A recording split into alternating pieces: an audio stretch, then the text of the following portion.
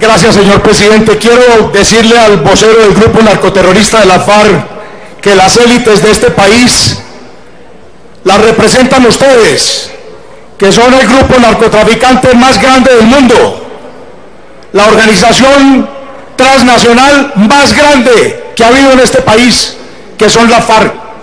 Y lógicamente este gobierno que se ha apoderado de las instituciones. Muy por el contrario, este partido centro democrático del que nos sentimos orgullosos de representar y pertenecer,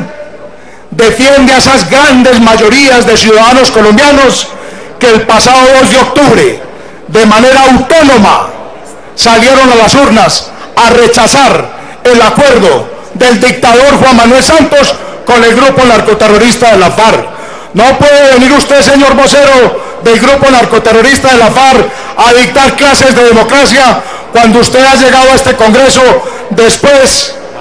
representando a un grupo que lleva 50 años llenando de sangre los rincones de esta patria y constituyéndose ni más ni menos en el grupo narcotraficante más grande del mundo. Por supuesto que en el 2018, y esa es la gran esperanza de millones de colombianos, tendrá que llegar un gobierno decente a arreglar estas atrocidades que han hecho en Manguala ustedes, los narcoterroristas de la FARC, con este gobierno ilegítimo y de tal vez el de menos apoyo en la historia de este país. Senador,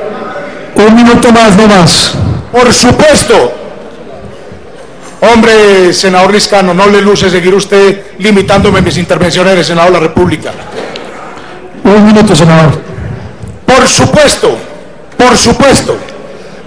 que haremos todo lo posible porque en 2018 llegue un gobierno